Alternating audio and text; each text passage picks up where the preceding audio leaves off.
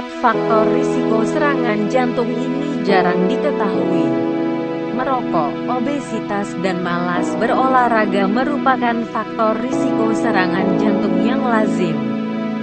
Diketahui orang banyak di luar itu. Rupanya ada beberapa faktor lain yang berpengaruh terhadap terjadinya resiko serangan jantung. Dr. Lennox Hill Hospital, Amerika Serikat.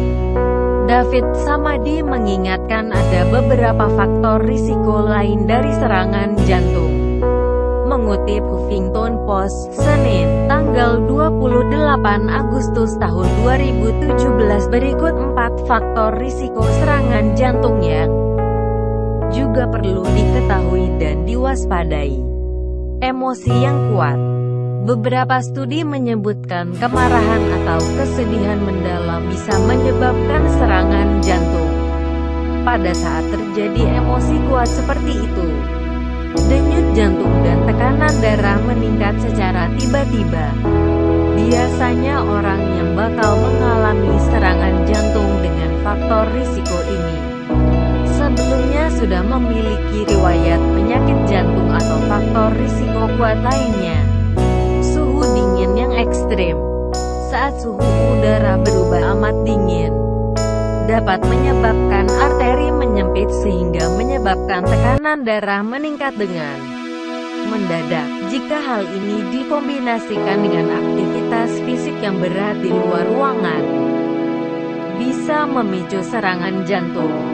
Di Amerika Serikat, ada 11.000 orang yang pergi ke instalasi gawat darurat IGD setelah menyekop salju. Sekitar 7% di antaranya menderita penyakit jantung.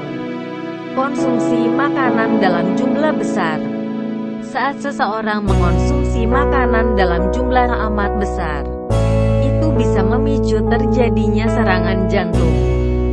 Samadi mengungkapkan, saat makan, level hormon adrenalin meningkat. Hal itu dapat meningkatkan tekanan darah dan denyut jantung punya masalah kesehatan lain.